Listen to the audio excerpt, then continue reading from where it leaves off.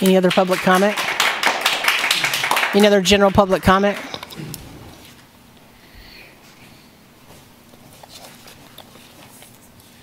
Yeah, there's a lot of weird stuff that happened at that meeting last week. So not only did you uh, say that the topics weren't germane, but then you went ahead and allowed them to bully you into allowing them to speak. Whereas, uh, you know, the, you did the opposite of that when, when I tried to, to speak as well. So my name is Dr. Justin Spiehs. Uh, there were a couple articles that were just written uh, today, one from the Kansas Reflector, one from the Lawrence Times, talking about a lawsuit that I filed against the City Commission here, uh, and Lisa Larsen and Courtney Shipley, and um, and also the City Library. And I just want to encourage everyone out there to uh, you know go and go and read the uh, if you're interested, go go and read the complaint. It's a public record. And I encourage you to do that just so you get the facts because, you know, like when you read Lawrence Times and Kansas Reflector, you're not going to get the whole story. So the story is in the, in the complaint. You know, for example, you know, the Lawrence Times uh, neglected, you know, part of it is uh, one of the things uh, that Courtney Shipley did is said that I, I couldn't clap during a meeting. I mean, I mean, just think of that.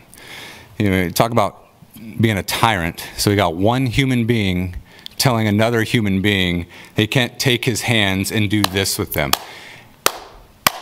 But another group of human beings you guys allow to take their hands and go like this because you approve of it. So last week at the meeting, after everyone spoke on the issue that you said wasn't germane, Lisa Larsen, but allowed them to speak, not only did you allow them to speak on it, you allowed them to clap on it as well. So I don't understand how, how they got to clap and and, and why I why I didn't get to, to clap. So you know that's in the lawsuit. That's restricting my First Amendment. It's also compelling speech. I mean, because think of the opposite of that. So everyone there, you know, clapped in support of pro-Israel and clapped on all these topics. And when I went up and spoke, nobody clapped.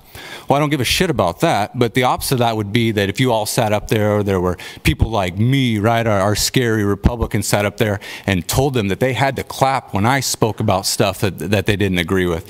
It's the same thing, but it's, it's you know, it's not equally applied. So, uh, and it's, you know, I it's just so, it, I mean, it's so, uh,